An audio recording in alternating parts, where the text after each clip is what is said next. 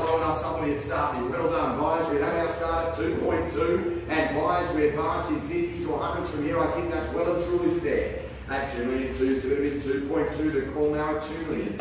Once, twice, third time before it goes, two five, two and a half. At two and a half, the money now, two five, so call. Now, sir, off this even number. These even numbers are generally everybody's limits.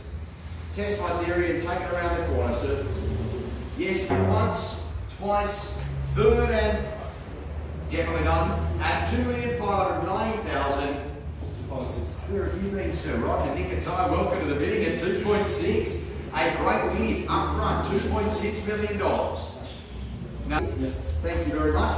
Ladies and gentlemen, we've got an increased offer at 2,750,000 at 2750 the money at two and three quarter million dollars.